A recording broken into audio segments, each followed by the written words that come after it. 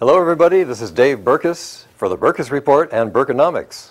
I'm glad to be back, and today we're going to talk about business and the use of resources. So I have some ideas for you that might be able to help. One of those is the concept of fixed overhead. You know, if you get a product into the marketplace faster, just because that product has gotten there faster, you've saved money because the cost of rent and all the payroll that you've paid and all the other forms of overhead end up eating up those amounts of money that wouldn't have been lost otherwise. So efficiency in getting your product or service to the marketplace is a most important thing. You can even do the math.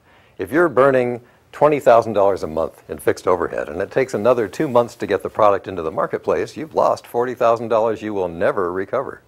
So there are two things. There is the fixed overhead loss and there is the opportunity loss because that product isn't in the marketplace selling during those two months as well. Think about efficiency of speed in getting things done. Number two, avoid time bankruptcy.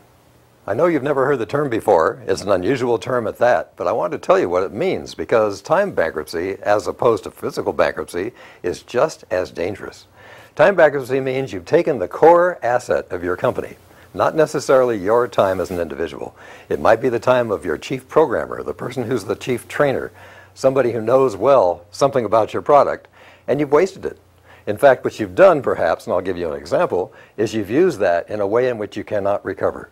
Let's say that you're a software company and you release the software and want to have three or four customers test that software at first. And the software has many bugs, and so you release it into the marketplace. And the first thing you discover is the chief programmer has to get to that customer to solve the problems one after another and gets off of developing new software. It doesn't take long before two customers take more of that chief programmer's time, three even more, and after a while, the chief programmer is no longer a programmer, he's a support person.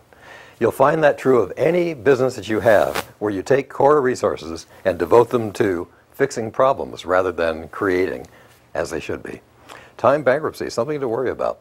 You know, when I've used that term before, there are people who said, you know, I've experienced something like that in my business before, I've just never known the name for it. Well, now you do. The third thing uh, I think we want to talk about today is cash is not the only measure of employee satisfaction. There are four or five measures that are really as important as cash. I've done the survey numerous times in numerous companies, as have others, and what we find is people love to work for companies where the culture fits, where there's fun to work. We love to work in companies where there is respect for what you've done. We love to work in companies where you tell us what to do and maybe why to do it, but not how to do it. We like to be responsible ourselves as employees for getting the job done without having somebody over our shoulder every single moment of time. So with all of those things, equal to sometimes the amount of pay, it is surprising to me that there are people who will work for companies sometimes for less money because they're more fun and they have more respect given and they feel like they're contributing more to the company, its products, and its services.